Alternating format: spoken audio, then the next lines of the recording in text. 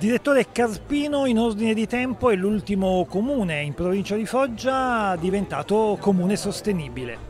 Sono tanti i comuni della Puglia ad aver aderito già in pochi anni all'Associazione Rete dei Comuni Sostenibili, circa 18, di cui 9 in provincia di Foggia, l'ultimo che è arrivato grazie agli amici dell'Associazione per il meglio della Puglia è il comune di Carpino.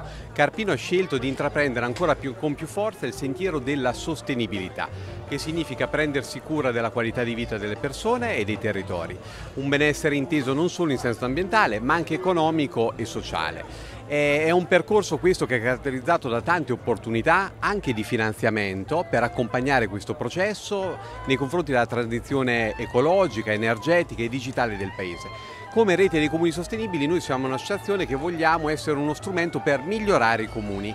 Accompagniamo le realtà locali nella messa a terra dei grandi obiettivi di Agenda 2030 e aiutiamo sindaci e amministratori a passare da una sostenibilità predicata a una sostenibilità praticata attraverso un progetto concreto e servizi utili che possono andare a migliorare la qualità di vita delle comunità locali. Siamo sicuri che con Carpino faremo un lavoro straordinario e siamo contenti, eh, ringraziamo il sindaco, l'amministrazione comunale, l'intera comunità per essere entrati a far parte della grande famiglia italiana della rete dei comuni sostenibili il ruolo dell'Associazione per il meglio della Puglia? E allora dunque, come per i precedenti comuni, un ruolo di, diciamo, di mediazione, di, di, intermediazione, di contatti in ragione di un protocollo che noi abbiamo sottoscritto come per il meglio della Puglia con la rete dei comuni sostenibili due anni fa.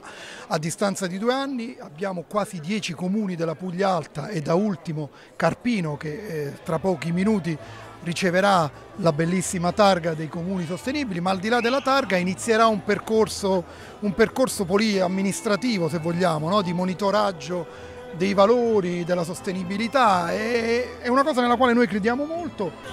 È una pagina della storia politico-amministrativa di Carpino assolutamente importante. Noi amministratori di oggi vogliamo scrivere questa prima pagina, speriamo di un eh, grande libro, un libro di attività amministrativa del nostro comune che va proprio nella direzione eh, degli obiettivi di Agenda 2030 e quindi noi siamo convinti che già la nostra azione amministrativa si riconosce in quelle finalità e in quegli obiettivi, ma vogliamo sensibilizzare ulteriormente la classe dirigente e le giovani generazioni per le quali noi tutti lavoriamo. Quindi io devo ringraziare davvero l'Associazione dei Comuni Sostenibili d'Italia per aver accolto l'istanza, la richiesta di Carpino. E noi, per noi è una sfida, è una sfida che lanciamo a noi stessi perché vogliamo sottoporci a delle critiche importanti rispetto al nostro operato.